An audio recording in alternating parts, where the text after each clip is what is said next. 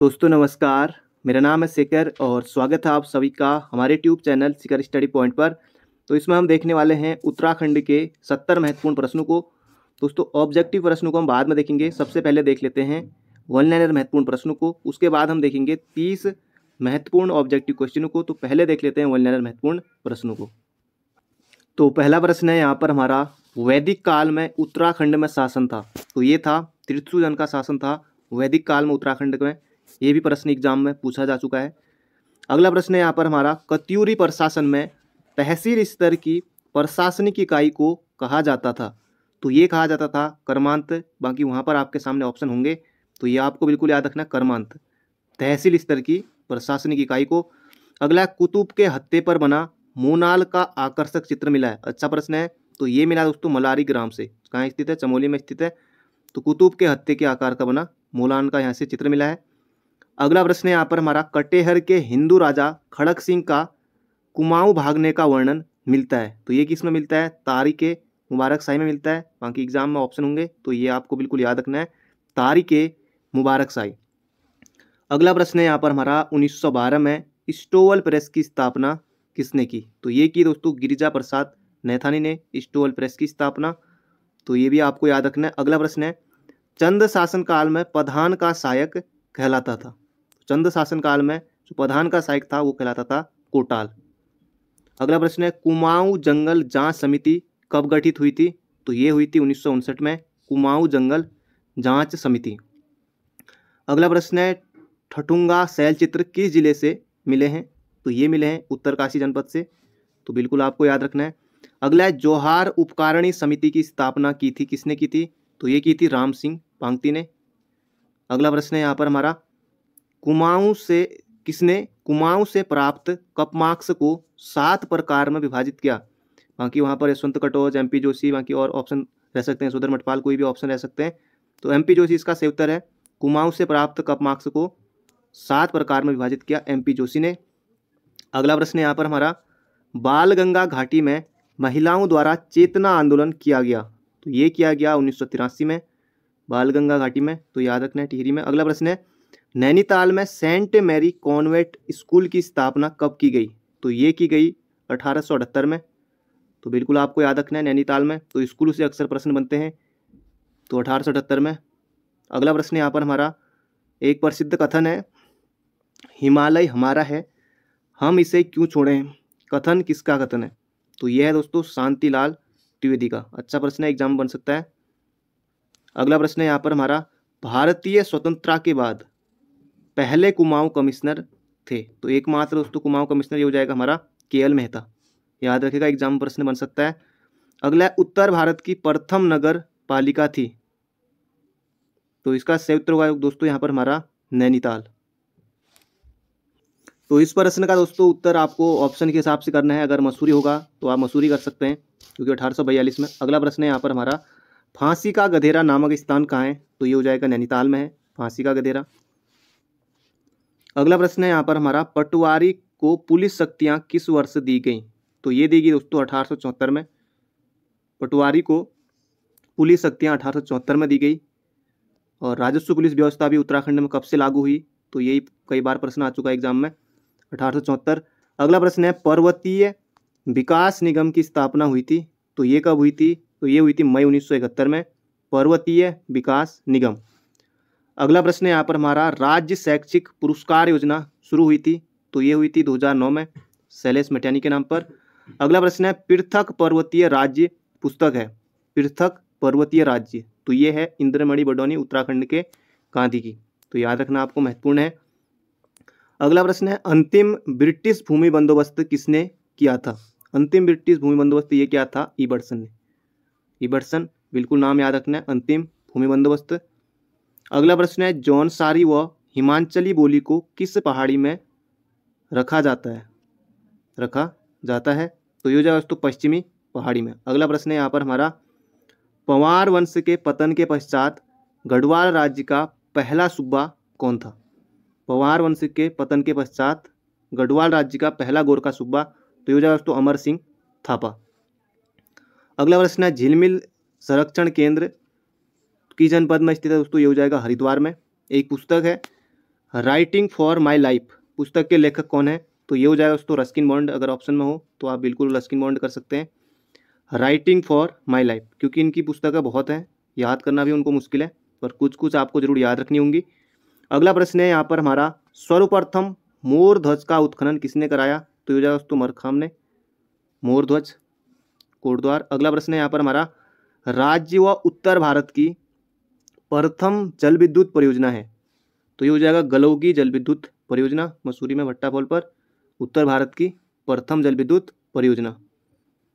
अगला प्रश्न यहाँ पर हमारा, राज्य में नया पुलिस एक्ट कब प्रभावी हुआ? राज्य में नया पुलिस एक्ट कब प्रभावी हुआ? तो 2011 में। अगला प्रश्न है, मुलुक कुमाऊं के रचनाकार कौन है? तो ये हैं कृष्णा पांडे, मुलुक कुमाऊं। अगला प्रश्न है, उत्तराखंड में सर्वप्रथम भूमि बंदोबस्ती की शुरुआत करने वाला चंद शासक था तो ये था रतन चंद तो रतन चंद का नाम आपको याद रखना है। सर्वप्रथम भूमि बंदोबस्ती की शुरुआत की थी। अगला प्रश्न है, सिंचाई अनुसंधान संस्थान कहाँ स्थित है? पहला प्रश्न ये कि रुड़की में। स्थापना तो 1928 तो ये भी आपको याद रखना है। अगला प्रश्न है, कुंजापुरी पर्यटन व विकास मेला कहाँ लगता है? तो ये हो जाएगा नरेंद्र नगर, टिहरी में। अगला प्रश्न है, आंदोलन व आलोचना का युग कभी भी बंद नहीं होना चाहिए। यह कथन किस पत्र में प्रकाशित हुआ था? तो ये हुआ था शक्ति समाचार पत्र में, आंदोलन व आलोचना का युग कभी भी बंद नहीं होना चाहिए। तो शक्ति का प्रकाशन किया था बी डी पांडे ने। अगला प्रश्न है, किस नदी को केदार खंड में क्षीरधारा कहा गया है? केदार खंड में क्षीरधारा कहा गया दोस्तों हो जाएगा मंदाकिनी नदी को कहा गया है।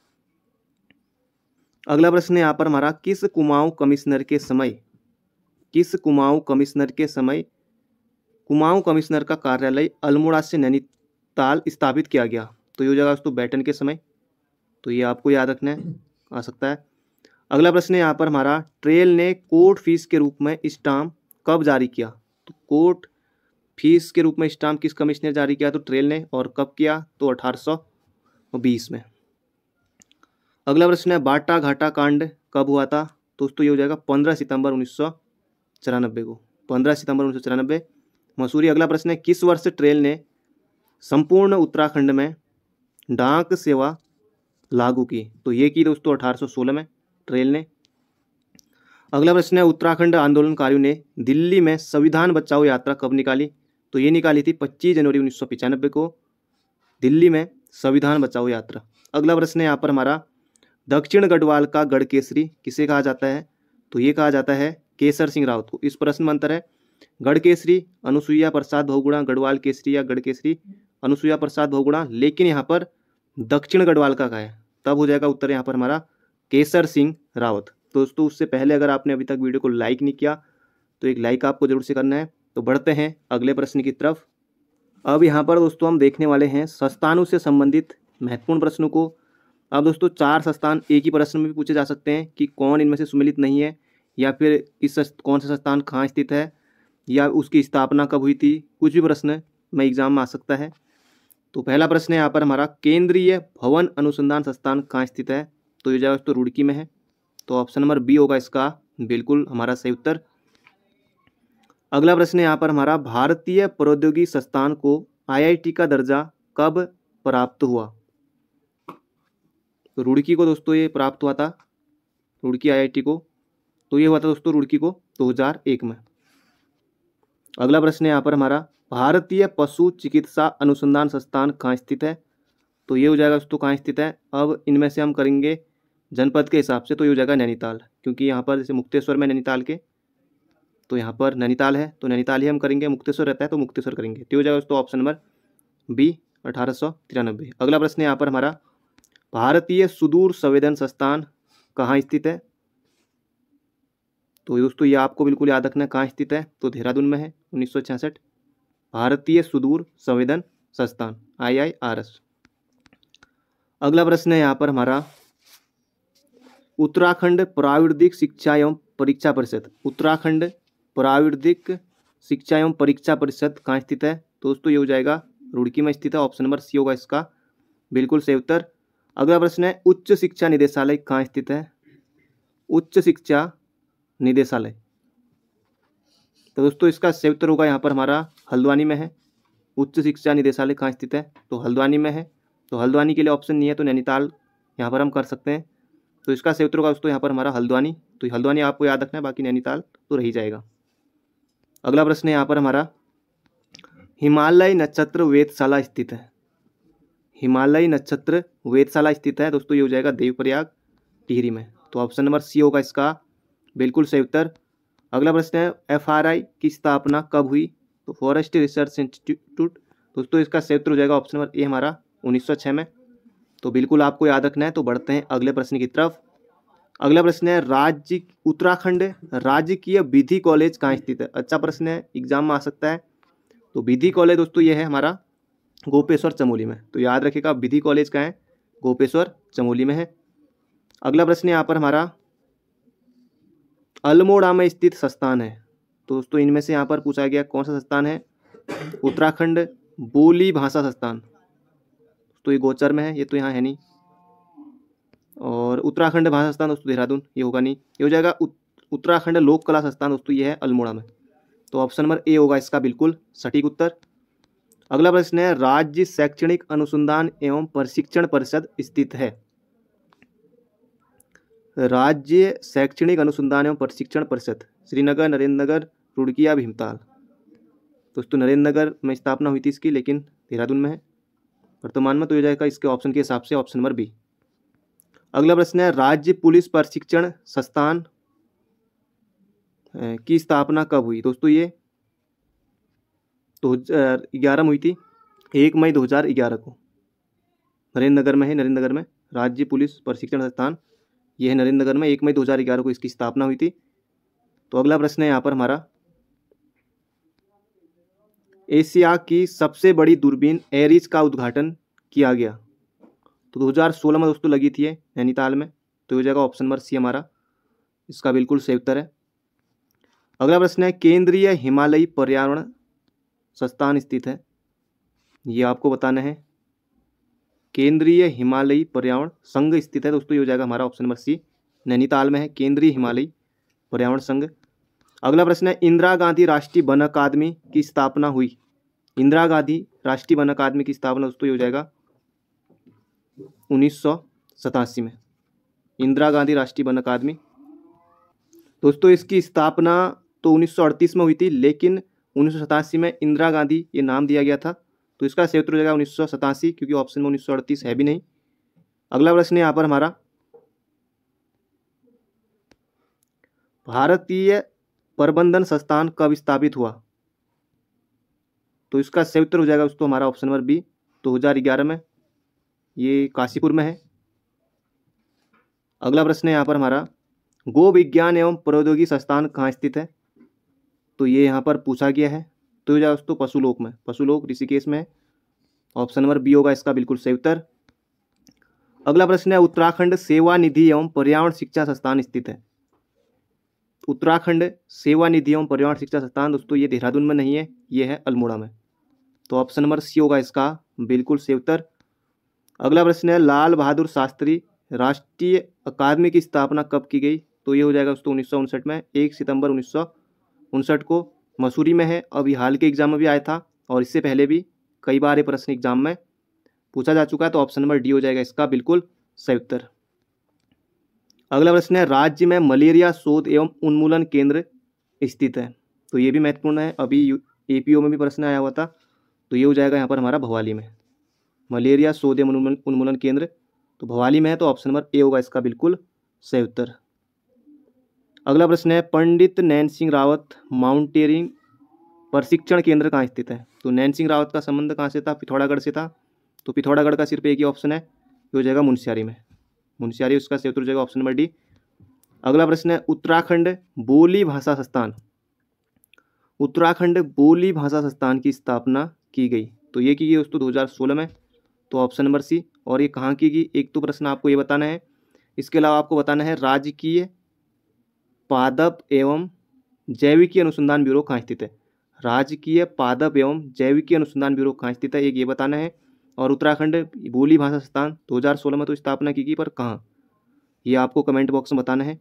तो बढ़ते हैं अगले प्रश्न की तरफ़। अगला प्रश्न है, नेहरू पर्वतारोहण संस्थान की जनपद में स्थित है? तो जो है दोस्तों उत्तरकाशी और कल के पेपर में आया हुआ था, और पहले भी कई बार आ चुका है, पुराने पेपरों में, ऐसा भी नहीं है। तो चौदह नवंबर उन्नीस अगला प्रश्न है यहाँ पर हमारा। Himalayan chambers of commerce and industries स्थित है। तो ये आपको यहाँ पर बताना है दोस्तों, ये हो जाएगा नैनीताल में। बाकी जनपद ही पूछा है तो नैनीताल हो जाएगा इसका सही उत्तर। अगला प्रश्न है, श्रीनगर में स्थित है। दोस्तों, ये हो जाएगा N I T national institute of technology. तो ऑप्शन नंबर सी होगा इसका। बिल्कुल सही उत्तर। बाकी एफ़ आर देहरादून में टी रुड़की। अगला प्रश्न है, राज्य सूचना आयोग का गठन कब हुआ? तो राज्य सूचना आयोग का गठन दोस्तों ये हुआ तीन अक्टूबर दो हज़ार पाँच। अगला प्रश्न है, उत्तराखंड राज्य कैंसर संस्थान कहाँ प्रस्तावित है? अभी प्रस्तावित है सिर्फ़। तो ये जाए दोस्तों हल्द्वानी में। उत्तराखंड राज्य कैंसर संस्थान हल्द्वानी में प्रस्तावित है। तो अगला प्रश्न है यहाँ पर हमारा, उत्तराखंड लोक सेवा आयोग का गठन कब हुआ? दोस्तों दो हज़ार एक में हुआ। लोक सेवा आयोग के जो प्रथम अध्यक्ष एन पी नवानी और वर्तमान में आनंद सिंह रावत, ये आपको याद रखना है। तो इसका क्षेत्र हो जाएगा ऑप्शन नंबर बी अगला प्रश्न है यहाँ पर हमारा, आपदा न्यूनीकरण एवं प्रबंधन केंद्र स्थित है। अब दोस्तों, इन ऑप्शन के हिसाब से आप बिल्कुल देहरादून कर सकते हैं। देहरादून हो जाएगा इसका सही उत्तर हमारा ऑप्शन नंबर सी बाकी नैनीताल कर नहीं सकते, हरिद्वार कर नहीं सकते, बाकी चमोली नहीं। क्योंकि इस तरह के जो भी होते हैं, देहरादून आप कर सकते हैं। आपदा न्यूनीकरण एवं प्रबंधन केंद्र तो ऑप्शन नंबर सी तो दोस्तों, इसमें हमने देखा सत्तर महत्वपूर्ण प्रश्नों को और अभी तक आपने वीडियो को लाइक नहीं किया तो एक लाइक आपको ज़रूर से करना है। तो बाकी मिलते हैं बहुत जल्दी एक नई वीडियो में। Thank you friend thank you so much channel पर नए हो तो चैनल को सब्सक्राइब भी ज़रूर कर लीजिएगा और इसके अलावा और पार्टों को नहीं देखा है तो उन्हें भी प्ले लिस्ट में आकर स्पीड बढ़ाकर ज़रूर से देख लीजिएगा। तो thank you friend thank you so much